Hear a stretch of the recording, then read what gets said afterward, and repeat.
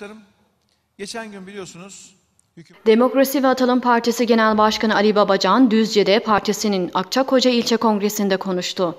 Babacan kürsüye yansıttığı video ve grafiklerle Cumhurbaşkanı Erdoğan'a yüklendi. Babacan'ın gündeminde orta vadeli program ile doğalgaz ve elektrik faturaları vardı. kamuoyunun önünde açıkladı. Tabi baktık program çok süslü püslü laflarla böyle açıklanıyor. Programda ne var? Bakın neler açıklanmış. Şöyle bir dinleyelim. istikrarlı, dengeli, gelir dağılımı adaletini gözeten bir büyüme yapısını tesis edeceğiz. Evet. Şimdi bu herhalde bir itiraf. Diyor ki şimdiki büyüme yapımız istikrarsız demek istiyor. Çünkü ne diyor? İstikrarlı büyümeyi gerçekleştireceğiz diyor. Demek ki istikrarsız olduğunu kabul ediyor. Şu anda gelir dağılımı adet, adaletini gözetmeyen bir büyüme olduğunu da burada itiraf ediyor. Çünkü istikrarlı ve gelir dağılımını gözeten büyümeyi hedef ediyor. Ne zaman? Gelecek 3 yıl için.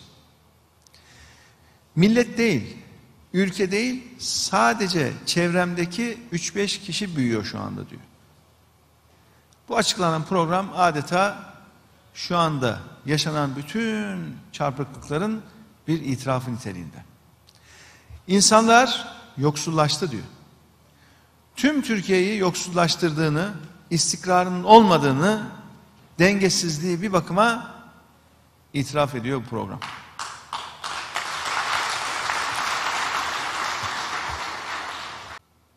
Program dönemi boyunca para ve maliye politikalarının eş güdümünü güçlendirmek, mal ve hizmet piyasalarında verimliliği artırmak suretiyle enflasyonun kalıcı olarak tek haneli seviyelere inmesini hedefliyoruz. Enflasyon hedefi zaten yıllardır yüzde beş ya. Bu hedefleri tutturamadınız ki. Kötü yönetildiği için, ekonomi kötü yönetildiği için sürekli enflasyon beklentisi çift hanelerde seyrediyor artık. Şimdi de bu programla enflasyonu hedefini yüzde sekiz olarak ilan etmiş durumdalar. Bakın kaç yıl sonra hala yüzde sekiz, o yüzde beş falan kalmamış.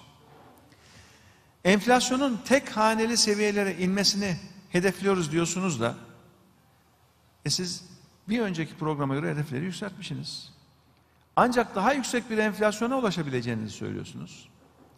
Ve ben ve arkadaşlarım iş başındayken ortak akılla hareket ettiğimiz yıllarda çift hane seyreden enflasyonu biz tek haneye düşürmüştük. Siz aldınız hem faizi hem kuru hem de enflasyonu patlattınız. Kelimeleri değiştirebilirsiniz ama bakın gerçekler değişmez. Allı pullu sözlerle kimseyi kandıramazsınız. Değerli arkadaşlar yine bu orta vadeli programda